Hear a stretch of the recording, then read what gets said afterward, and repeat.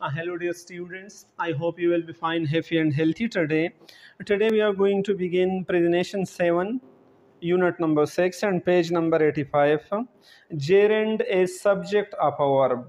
आज हम gerund discuss कर लेंगे बतौर फ़ाइल या बतौर subject of a verb the ing form of verb is called a gerund when it is used as a noun यानी जब आई एन जी पामा वर्ब बतौर नाउन इस्तेमाल होते हैं तो इसको जेरन कहा जाता है।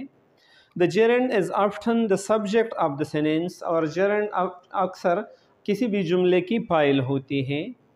For example do you like to travel by yourself क्या तुम अकेले सफ़र करना पसंद करते हो?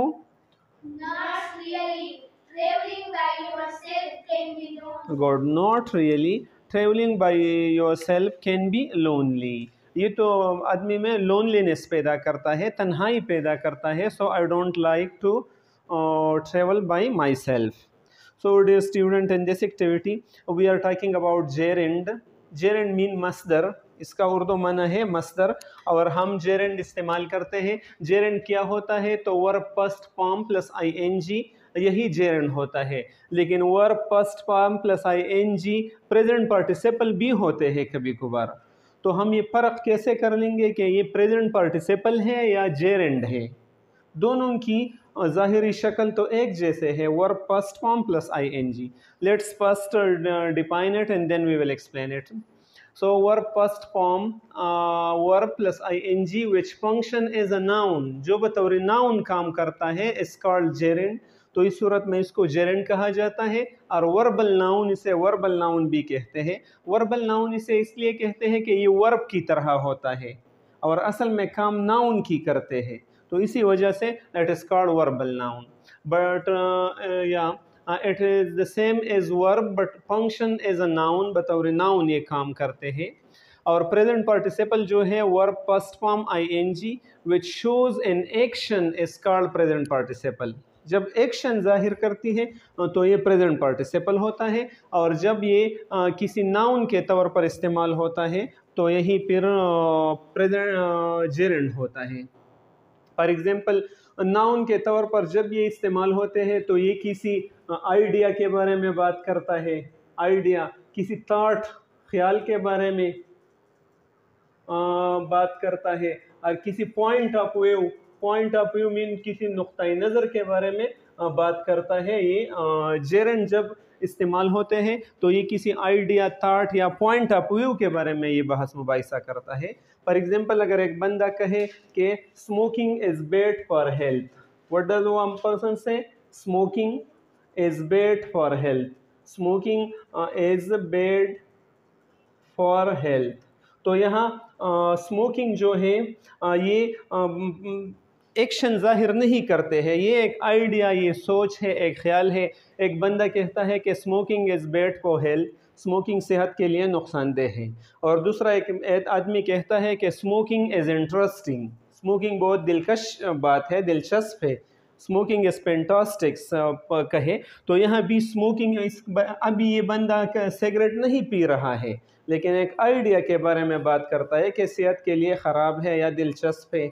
और जब हम यही स्मोकिंग बतौरी प्रेजेंट पार्टिसिपल इस्तेमाल करते हैं तो फिर हम ऐसे बयान करते हैं कि suppose he is smoking he is smoking a cigarette या he was smoking a cigarette वो सिगरेट पी रहा है। तो यहाँ एक्शन है यहाँ क्या है?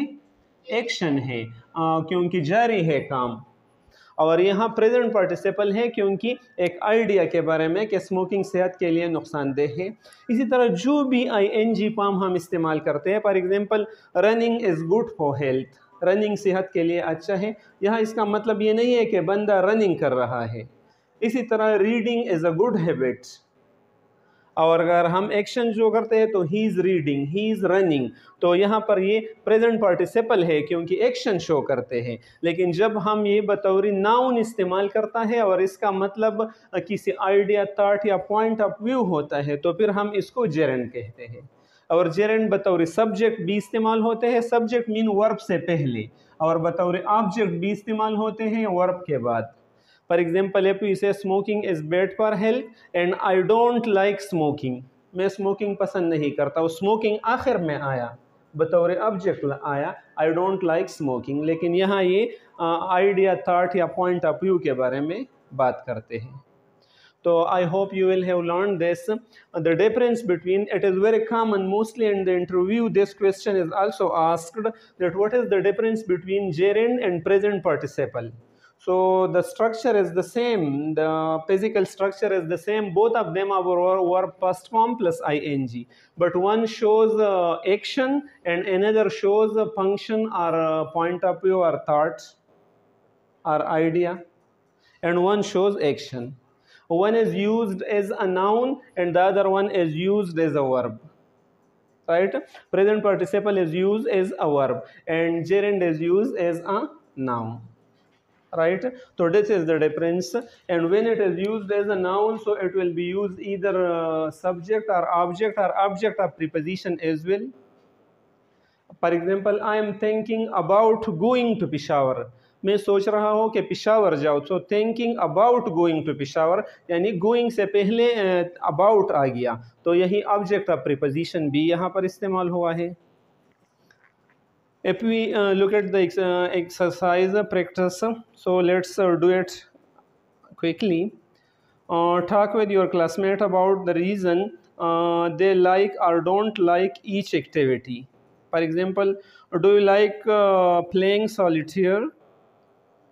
Yes playing solitaire is interesting. Yeah no i don't.